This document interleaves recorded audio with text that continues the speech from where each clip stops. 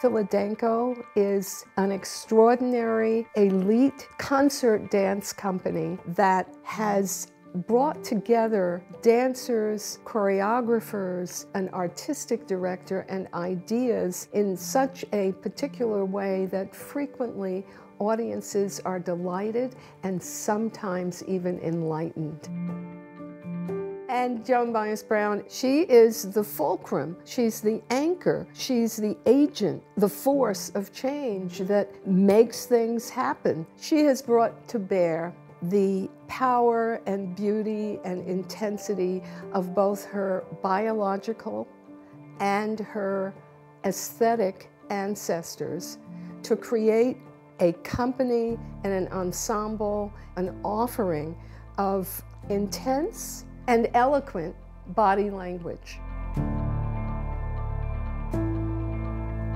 That was her vision 50 years ago. This company, to have a place where she can build the best artists. Her legacy is her dedication and commitment to the arts, to her school, to her students, to the company, and the companies that have grown from that. That is something that anybody who knows her, anyone who wants to be a part of the continuum, is going to have to keep that alive.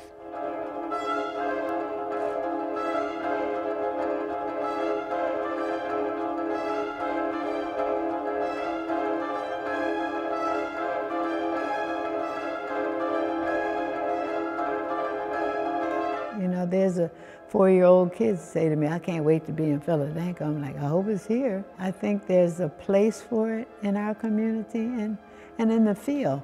But uh, planning for it, I don't know. We've had five different succession plans. So we never get there.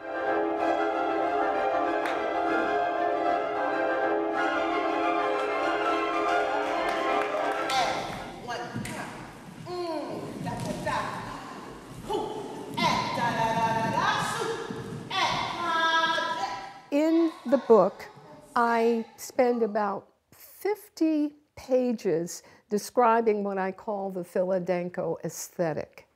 It's a hard work, work your butt off aesthetic based on old school traditions that come out of the African American community, that also come out of the old school European ballet community. And while you're doing that, you are always reaching for the sublime. There is no truth that black bodies cannot do ballet or that black bodies are different than white bodies.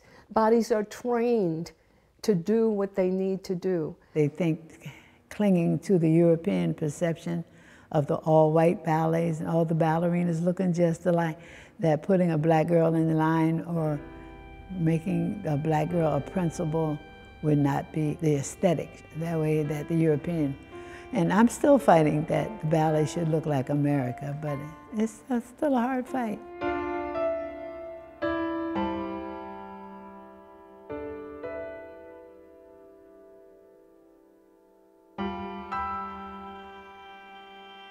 I was born in 1931 in the era of segregation, and I went to an all-black school, black community. She mentioned that when she was seven or eight, she broke a foot because she was playing curb tag with her friends in the street, kind of thing that city kids do, and uh, broke her foot. And uh, the doctors suggested that she take dance classes to strengthen this foot. My mother, during the war, when the men went to work, my mother was in college, and she got a job because she um, was majoring in chemistry. She ended up being a research and chemical engineer. So, of course, she wanted to, me to be involved with so-called social things. Essie Marie Dorsey, the mother of this whole community, was teaching dance classes. JB took classes at Miss Dorsey's studio. So all of this started to strengthen the feet, but there was this kid who seemed to have some promise, but JB wasn't really interested. So I didn't get involved with dance again until I was in high school.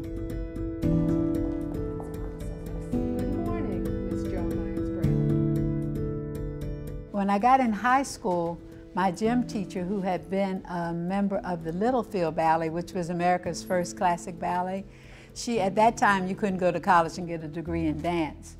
So she had to be a gym teacher. But after school, she had a ballet club, and she invited me to come to the ballet club. She said, You should dance. I'm like, I can dance. Know? she said, No, you should dance. She said, Come to the ballet club. Of course, when I get to the ballet club, there's nobody black there but me. But I made friends with a girl. She used to meet me in the morning before school at 7:30, and she would teach me what she learned the night before at her dancing school, so that when I got to the ballet club, when they start saying glissade, arabesque, and all, I would halfway know what they were talking about, and that I could halfway follow. JB is part of the ballet club and really gets to loving it very much. Wants to take classes outside of high school, but none of the white dance studios will have black students there. Marion Cuyjet, along with Sydney King, was a really important teacher and mentor for Joan Myers Brown. I was teaching for Sydney King, then she had her school. First was Sydney Marion School. Then they split, the Judimar became one school and the Sydney School became another school. At that time, all the stuff I was learning at high school, they weren't teaching. So I was teaching stuff that people didn't get other than what I got secondhand. People kind of relied on me. They considered me a good ballet teacher in the black community. The local dance schools would always do part of the cotillion. It was a cultural event of the black community for years.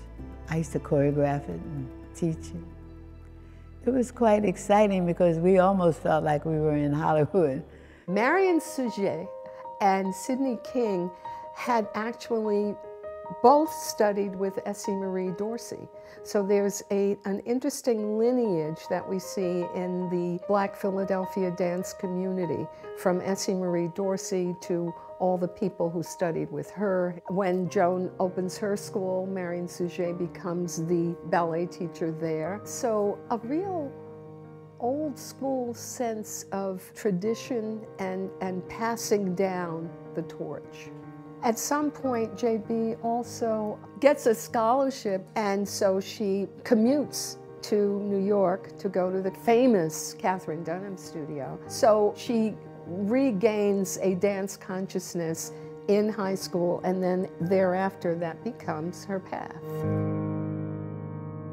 JB has this never ending love of ballet, and ballet in an old school sense of ballet um, you know, tutus and all of that. And one of her teachers was Anthony Tudor, British, who came to Philadelphia to teach once a week at the Philadelphia Ballet Guild and didn't realize that he wasn't supposed to have black people in his classes. So he invited JB and Billy Wilson as well to take classes. The white male dancers, when it got to the pas de deux, the duet numbers in the class, they would not partner Joan. Mr. Tudor, Mr. Anthony Tudor, partnered her in class. Now, what incredible learning experience. Kind of felt like, why shouldn't I be able to do this if I wanted to? Well, when I couldn't get a job, I knew I wasn't going to be a ballet dancer. But she uses her, her talents, and so JB becomes a uh, dancer uh, on uh, the, the local nightclub circuit, then dances in um, Canada at a club run by a gentleman by the name of Monsieur Savard. And she puts together a group with whom she dances and she choreographs called the Savard Dancers. She said that wherever she went, she would then also take ballet classes. So she wouldn't hang out at night in Montreal. She was taking classes with the National Ballet Company, that kind of thing. Later, in the late 50s, 59, 60, she gets involved with the Larry Steele revues, which were a big deal. They had these black revues that would be in Atlantic City every summer. I went in as a dancer. Then I ended up helping the choreographer. Then I ended up being the choreographer. This is JB uh, on point for a publicity picture for the Larry Steele work. She is in a position that really shows us what her training is like. This is like a Cecchetti ballet position. Fortunately for me, I always work with top acts. Sammy Davis, Cab Calloway, Billy Eckstine, and just so many of that era. I was always lucky to have a good job. I was dancing with Pearl Bailey, and I just woke up in Boston in one of the raggedy hotels and said, I don't want to do this the rest of my life. Maybe if I go back home, teach some kids in Philadelphia, that maybe some of them will get the opportunity that I didn't get. 52nd and Walnut Street, there was a children's shop on the first floor, and I opened my school above them, thinking the kids went to buy their clothes, they would come by and see my school. I worked for six years in Atlantic City at night. I commuted every day for six years. I would teach in the morning, catch the bus at eight o'clock, dance at the club at night, come back, catch the six o'clock bus in the morning. And my boss said to me, one day people are gonna say, boy, you sure got a good break. Nobody's gonna know how hard you worked.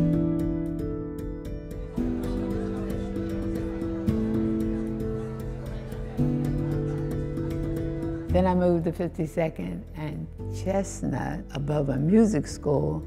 Then my school had grown, and the facility was too small.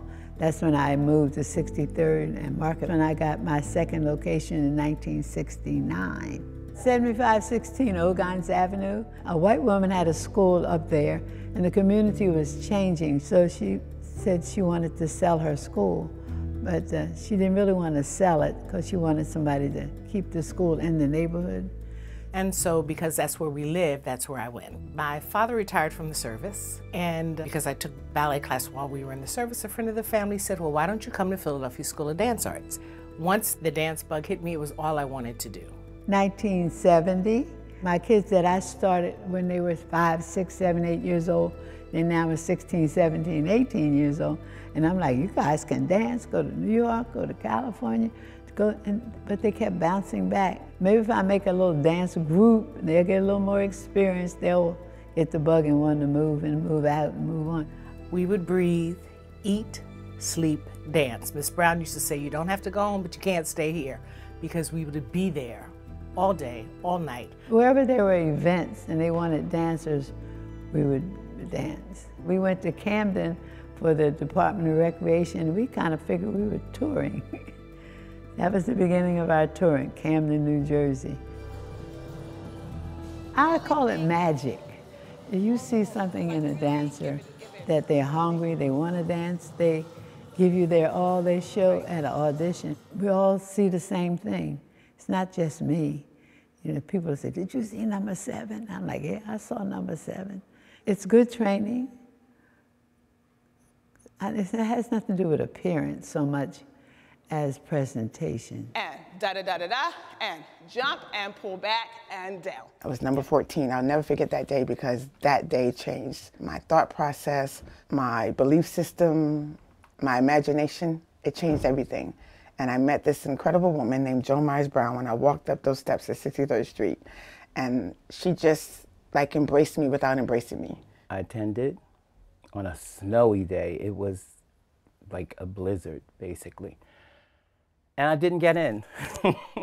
so, but I did the audition. It was fun. It was very um, eye opening. And I think I tried the second time and the third time, and that was the charm. It was Philadelphia's premier African American dance company, and I wanted to be a part of that once I found out its history. I was fortunate enough to, to be there when Deborah Chase and Deborah Manning and David St. Charles and all of them were there, which couldn't have been a better time for me to be able to sit back and be like a fly on the wall and just observe, observe the masters at work. And almost 40 years later, I'm still here. I'm artistic director of our second company, uh, D2, our apprentice performance group. I teach for the school, the school, Philadelphia School of Dance Arts. So when they stopped dancing and they wanted to be involved, it was easy to hire someone who knew me and knew what I like and what I want. I say I recycle people. And we always say going without the E. You're going, but you'll be back. There are so many notable dancers who've been part of this legacy.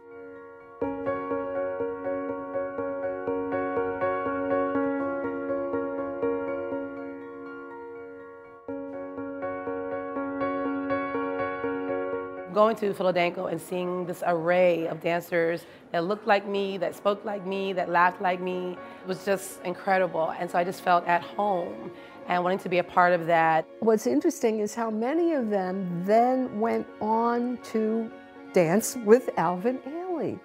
So there is a Danco tradition that is a, a very rich vein in the Ailey world.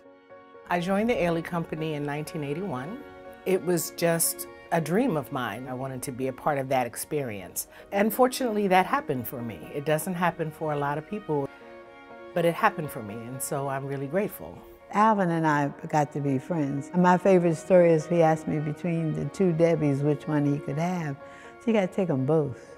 In every single way, she prepared us to go further than where we were in terms of just being disciplined, knowing how to conduct yourself as an adult, what's expected of you as an artist. The awareness, being able to, at a moment's notice, be flexible, change it up, figure it out.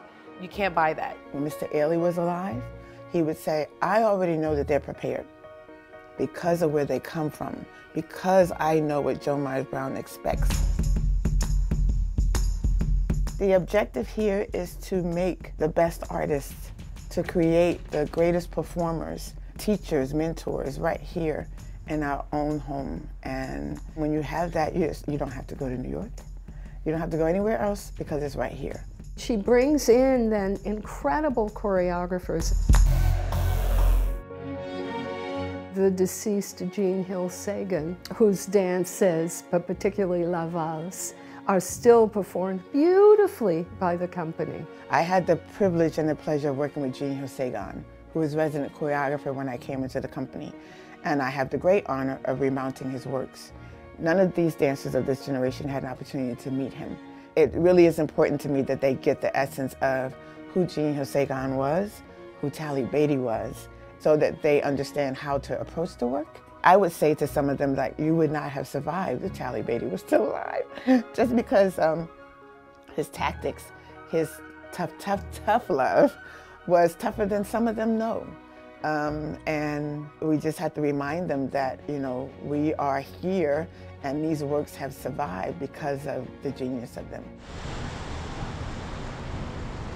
Welcome everybody to the Coalition for Diasporan Scholars Moving roundtable and discussion. 1988, and Joan Myers Brown had this amazing idea to call together those who were in the black dance sector to begin to deal with issues and situations through this conference at the time. We have folks coming from Germany, from Sweden, from Barbados, from Bermuda, from the UK. Joan Myers Brown is instrumental not just in the US but also for us in the UK. She's um, phenomenal. We see the work that she's been doing. She's paved the way for so, so many people. This is a time where we can just commune with each other and just hearing from others what their, not only what their challenges are still, as dancers and companies of color, black specifically. They see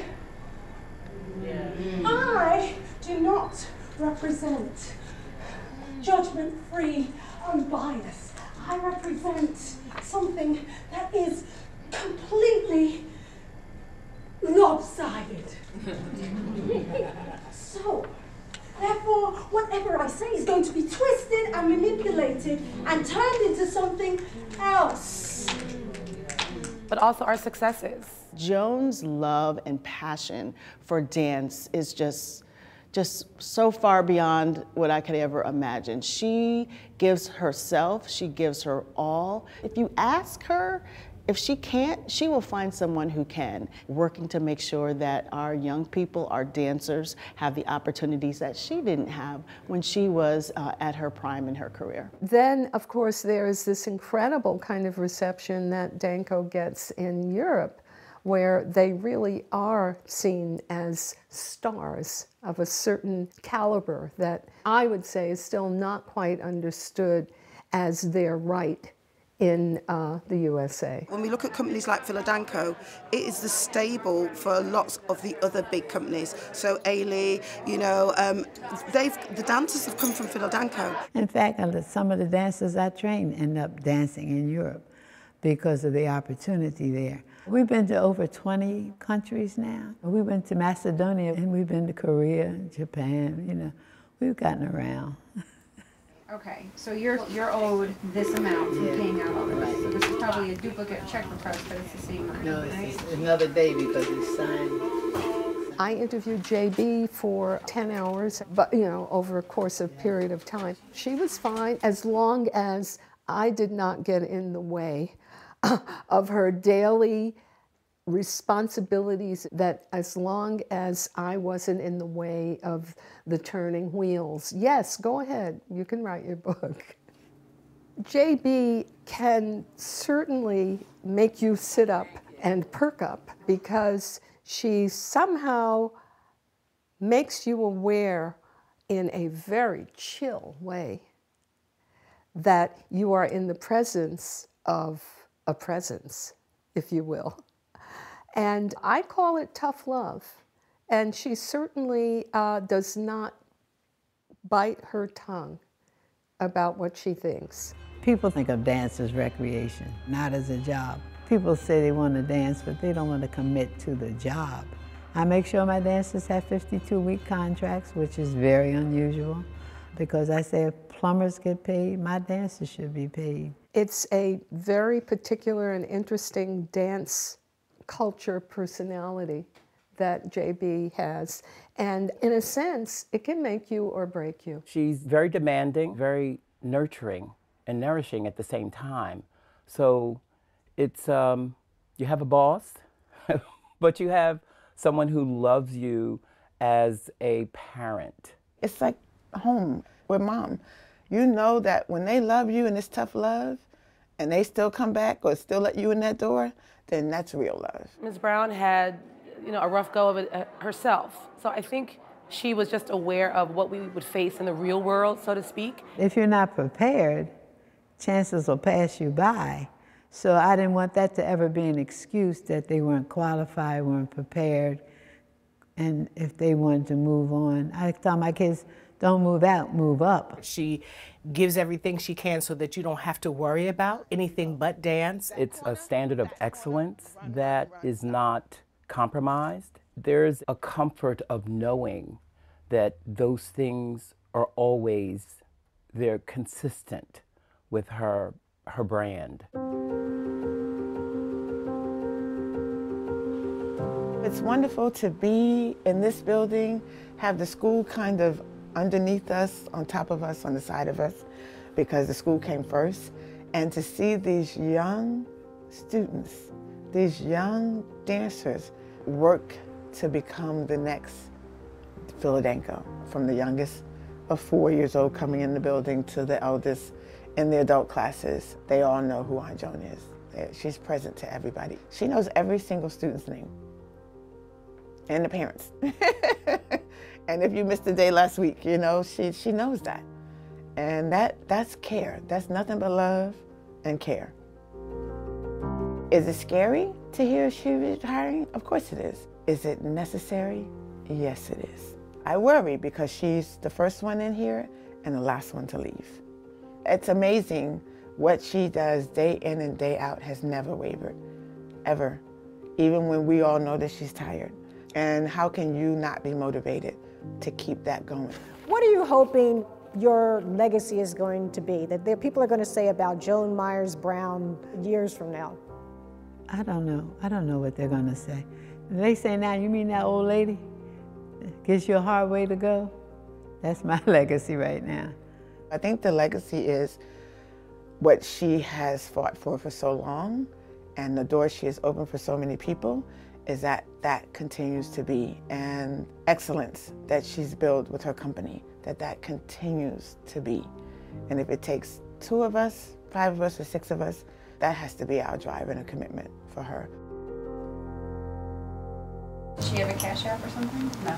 She is 88. 88, I don't mean I'm stupid. But you don't have a cash app. But she's always going to be somewhere in it. I can't imagine her not. I think that also keeps her excited, you know, to see what the next thing is coming. What she's established here is so embedded in these walls. It's so embedded in the people that she's touched. She's here.